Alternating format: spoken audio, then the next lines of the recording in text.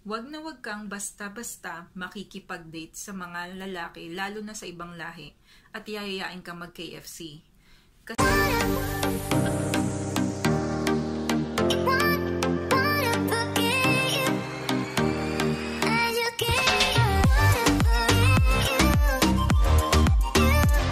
Hello guys! Welcome back to my channel. This is Maria Miao and you are watching my channel. Kung bago ka lang dito, please subscribe my channel and hit the bell button para magkaroon ka ng notification every time na mag-upload ako ng mga bagong videos. Our topic for today guys is kung ano-ano ba yung mga bagay na dapat nating malaman kung bago lang tayo dito sa Dubai. Ano ba yung mga dapat nating iwasan, dapat nating gawin kapag uh, magtuturist tayo dito, either tourist or maghahanap tayo ng work dito sa Dubai. So, tara pag-usapan natin meron akong sampung, uh, sampung tips na hinanda para sa inyo na makakatulong kung bago lang kayo dito sa Dubai na for sure magagamit nyo talaga. Una, kung bago ka lang dito sa Dubai, mas okay na bumili ka ng NOL card. Ano yung NOL card? Yun yung ginagamit para, uh, para maka-travel sa mga lugar dito sa Dubai gamit ang metro or bus. So, kung mag kung may plano kang mag uh, stay dito ng matagal, mas okay na may NOL card ka. Kasi pangalawa, meron ka ng NOL card. Gagamit ka na ng metro or bus. Keep in mind na bawal kumain at bawal ang pagkain sa loob ng metro at ng bus. Even the bubble gum, bawal yon Kasi may mga camera na naka uh, install sa loob ng metro at saka sa loob ng bus. So, kapag nahuli ka, magkakaroon ka ng mahal na fine. Talagang sobrang mahal siya. Kaya mas okay na wag ka na lang, uh, sumunod ka na lang sa rules and regulation nila. Pangatlo, bawal tumawid sa hindi tawiran. So, kailangan mong sumunod sa kung saan lang pwedeng tumawid. Alam naman natin na sa Pilipinas, kahit saan 'di ba okay lang tumawid, dito bawal na bawal 'yun.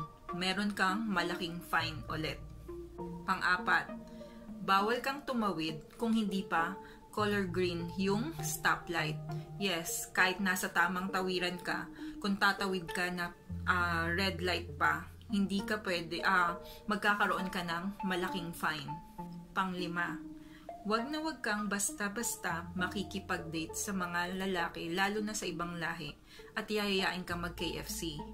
Kasi guys, kilala ang mga Pilipino dito na sinasabi nila, na especially sa mga ibang lahi, sinasabi nila na ang mga Pilipinong babae madaling makuha sa pamamagitan lang ng KFC. Kaya nga sabi nila, kilala nila na ang mga Pilipino dito ay eh, mahilig sa KFC. So, yun mas okay na wag kang makikipag-date dahil lang sa KFC. Kasi ibig sabihin nun parang ina-underestimate ka nila. Hindi ko naman nila lahat, pero karamihan ganon. Okay? So, ano yung basis ko doon? Kasi may mga um, ka-office mate ako, meron din akong mga nakilala na sinasabi nilang kayong mga Pilipino mahilig kayo sa KFC. Na tipong KFC lang uh, makukuha na kagad kayo. So, ako nung uh, may nagsabi sa akin noon, sabi ko, talaga ba? Sabi ko, sino ba yon? Kasi kung sino siya at i-date niya ako, baka siya pa yung bilang ko ng 10 KFC, di ba? Kasi nainis lang ako, narinig ko yon. Pero, yun nga, nakakalungkot isipin kasi may mga ganong Pilipino lang din naman daw talaga. So, big no-no yun na huwag kang makikipag-date agad-agad. Kilalanin mo muna, mas okay. Anim, kapag naglalakad ka sa kalsada, huwag kang basta-basta ngingiti sa mga lalaki, lalo na sa mga ibang lahi. Kasi ang iisipin nila, may gusto ka sa kanila. Yes, di ba tayong mga Pilipino, mahilig tayong ngumiti eh. Okay lang sa atin na ngumiti. Normal sa atin yon Pero dito, binibigyan pala nila ng mali siya. Once again, hindi ko nila lahat. Pero may ganong pag-iisip yung mga tao na pag nginitian mo sila, ibig sabihin gusto mo rin sila. Yun yung iniisip nila. Which is sa atin normal yun sa mga Pilipino, ba diba? So, mas okay na, yun nga. Hanggat maaari nga daw, wag mo silang titignan ng eyes, eyes to eyes eh. Tapos ngingiti ka. Parang iba kasi ibig sabihin nun sa kanila. Pangpito, kapag may nakita kang gamit na nahulog or naiwan, mas okay na wag mong pupulutin. Mas okay na i-report mo na lang siguro sa security guard or sa police Kasi, kung kukunin mo yon pupulutin mo, tapos yung intention mo naman is maganda, pero baka mamaya ikaw pa yung mapagbintangan na ikaw yung kumuha nun. ba? So dito sa mahirap 'yun kapag nandito ka sa Dubai, tapos ikaw yung mapagbintangan. So mas okay na wag mo na lang pulutin at saka um, i-report mo na lang. Pangwalo, wag kang tatambay sa labas kung madilim na or paggabi na. Kasi mamaya meron sa yung lalapit na lalaki, especially ibang lahi, tatanungin ka ng how much. So, nangyari sa akin yan, hinihintay ko yung friend ko, bago pa lang ako, hinihintay ko yung friend ko, nandun ako sa labas, sa malapit sa metro. May lumapit sa akin lalaki, tapos tinanong niya ako ng how much. Tapos sinabi ko, excuse me, uh, what do you mean? Kasi hindi ko naintindihan anong how much yun. Wala naman akong binibenta, bakit bigla siyang lalapit? Tapos sabi niya, ah, sorry, sorry gumanon siya. Tapos, nabanggit ko ngayon sa friend ko pagdating niya. Sabi ng friend ko, ay oo, nakalimutan ko sabihin sa'yo. Bakit ka kasi doon tumambay? Huwag kang tatambay dyan. Kasi yung lugar na yan, maraming umuupo dyan at marami ring mga nakatayo na nag-aabang lang din. Kaya natanong ka ng how much. So, ibig sabihin, yung pag tumatambay ka specifically doon sa bandang uh, mataong lugar, tapos nakaupo ka lang doon, baka mapagkamalan kang prosti. So, yun, mas okay na huwag kang tatambay tuwing gabi or mag- magdidilim na. Pang siyam, wag na wag kayong maliligo sa beach na kung dalawa lang kayo or tatlong babae lang kayo na wala kayong kasamang ibang lalaki.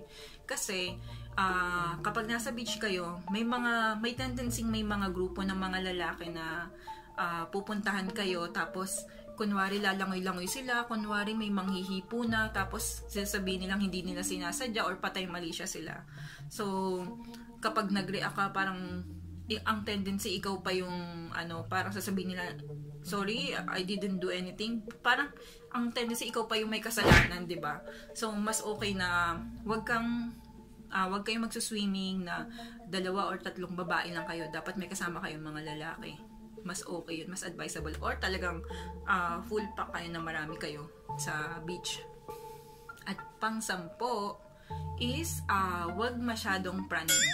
Ano ibig sabihin? Ganito. Kasi nung bago lang ako dito, lagi kong hawak yung bag ko. Tuwing uh, aalis ako, kahit nasa metro ako, kahit nasan ako, lagi kong hawak yung bag ko. Kasi 'di ba sa taga Malabon, Caloocan kasi ako. So alam naman natin na maraming snatcher dun dati, maraming laslas bag. So ako na sanay ako na hawak ko or yakap-yakap ko yung bag ko.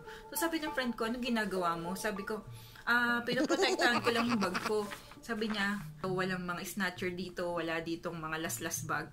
Nasa Dubai ka na. So, wag ka nang uh, wag ka nang mapraning dyan uh, sabi niya nga sa akin, kahit iwan mo yung bag mo ngayon, walang mawawala dyan. At kung saan mo iniwan, nandyan pa rin yun. Kasi nga, may mga, uh, yung mga tao dito, walang pakialam kung ano yung maiwan mo. Yun yung sabi ng friend ko. Which is, uh, hindi ko naman tinry na mag-iwan ng kahit na ano, ayoko pa din. Pero may, one time, nasa, ba, nasa metro ko, may naiwan yung kaharap ko na babae, may naiwan siya. So, na-retrieve niya rin yung gamit niya the next station. Which is maganda, ba? Kasi na-report kagad, na-report sa police, kinuha ng police. So, meron pa pala akong bonus tip, sabi ko sampu lang. Meron pa pala, importante rin to. Pagdating sa metro, at saka sa bus, meron tayong tinatawag na uh, women ano women cab, cabin so bawal ang mga lalaki doon kapag pangbabae kapag nandun ka at kunwari lalaki ka nakapunta ka doon sa cabin ng mga babae huhulihin ka magkakaroon ka ng fine so wag kang pupunta doon kung lalaki ka okay So, yun nga guys, yun yung topic natin. Sana meron kayong natutunan. Kung may uh, plano kayo na pumunta dito sa Dubai, um, kailangan, yun yung mga dapat nyong gawin, dapat nyong malaman. Lalo na kung uh, magtatagal kayo dito. Okay? Uh, thank you for watching my video guys. Sana supportahan nyo yung channel ko. Mag-subscribe kayo kung hindi pa kayo nakakapag-subscribe. And hit the bell button para uh, ma-notify kayo sa mga uh, ina-upload ko na videos. Usually, yung mga ina-upload ko is um, very informative. So, marami kayong matututunan. Thank you guys for your support. Thank you sa mga subscribers ko. Shoutout sa inyong lahat. Thank you, thank you so much. Keep safe and God bless you.